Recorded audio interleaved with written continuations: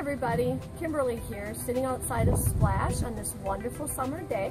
I just want to remind everyone that fall registration is open. It begins August 29th and it runs for eight weeks. Give us a call as soon as possible. Our spots are filling up fast. Have a great day.